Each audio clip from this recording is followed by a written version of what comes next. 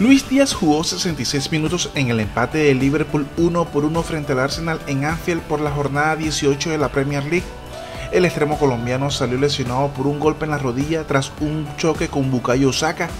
En rueda de prensa posterior al partido, Jurgen Klopp se mostró despreocupado por la lesión del cafetero. Solo es un poco de dolor, no me preocupa, pero nunca se sabe. Espero que no sea nada malo. Fue un golpe de rodilla con rodilla y en ese momento queríamos arriesgar con unos cambios, pero Lucho cayó e hicimos tres, comentó Jurgen Klopp. Hasta el momento de la lesión, Luis Díaz no había tenido mucha participación en ataque, situación que se ha vuelto una constante en los últimos partidos.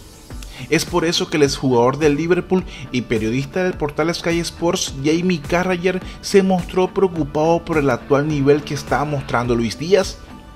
Díaz simplemente parece una sombra de sí mismo desde esas lesiones de rodilla que tuvo la temporada pasada. Obviamente tuvo problemas familiares esta temporada.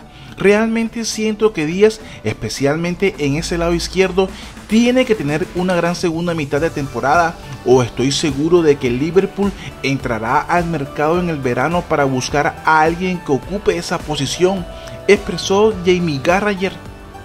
Luis Díaz no ha sido el mismo jugador desde que regresó de la lesión de rodilla que sufrió al comienzo de la campaña 2022-2023, pero los últimos meses no han sido fáciles para el jugador de 26 años considerando todo lo sucedido en su ámbito personal.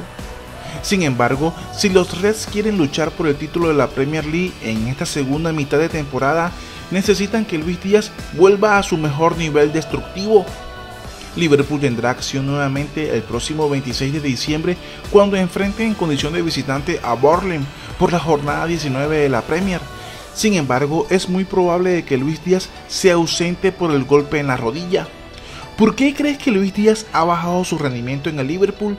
Déjalo saber en los comentarios. Y bien amigos, eso es todo por este momento. Suscríbete dale click a la campana para mantenerte informado. Si te gustó el video no olvides darle me gusta. Hasta pronto.